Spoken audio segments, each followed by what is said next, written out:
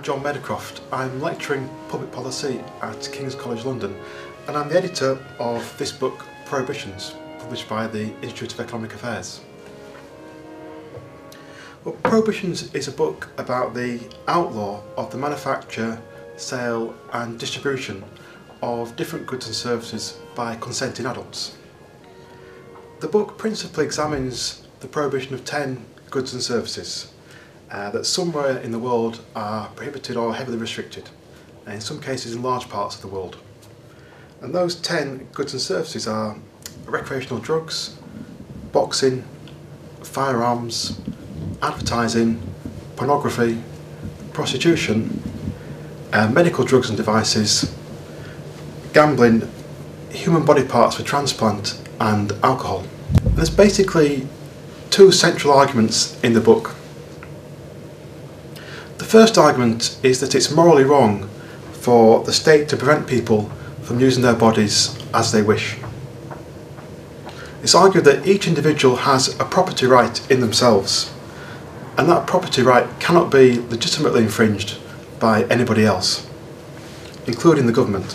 So when the government stops an individual from choosing to drink alcohol, to gamble or to take cocaine for example, they're infringing that person's right of self-ownership, their right to choose what to do with their own bodies.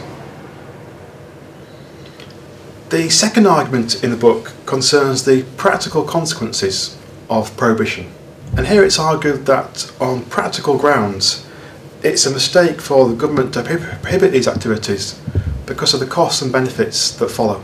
And in the introduction to the collection I outline six principal costs or consequences of prohibition.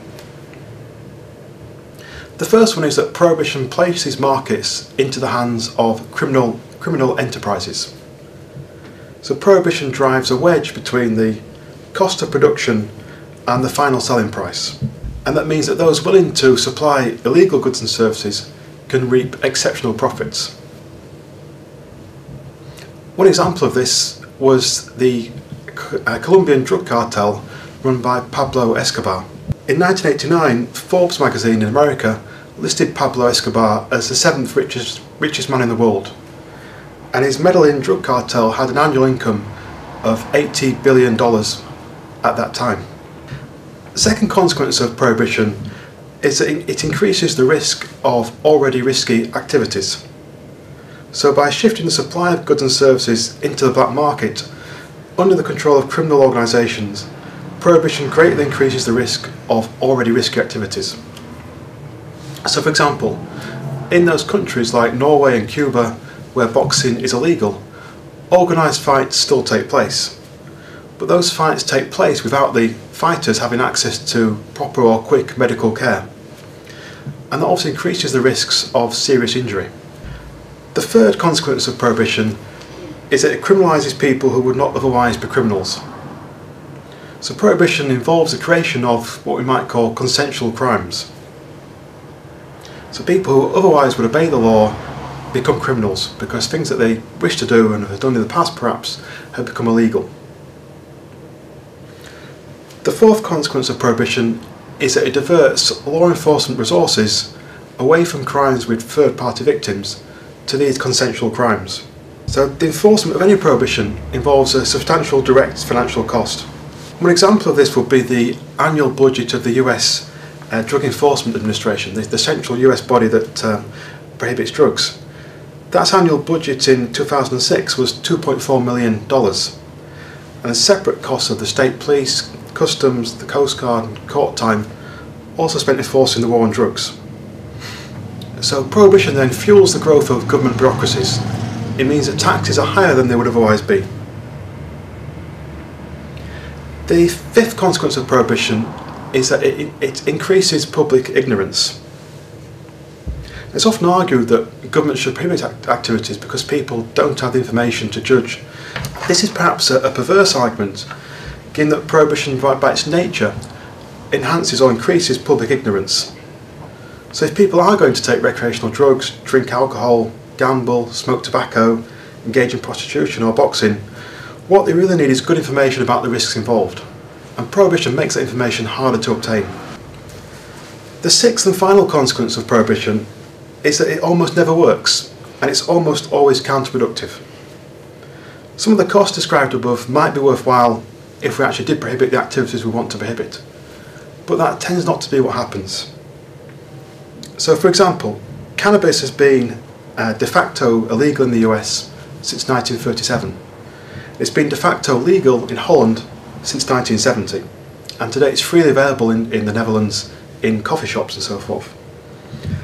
However, in 1997 the proportion of the US population, the American population, aged 12 years and over who had used cannabis in their lifetime was 32.9%. In Holland by contrast, the proportion of the population who used, used cannabis was 15.6%.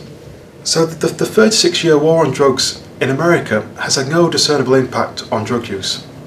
Or, precisely, its impact has been perverse. That is, drug use in America is higher than in Europe, where drugs, where the same drugs have been legal.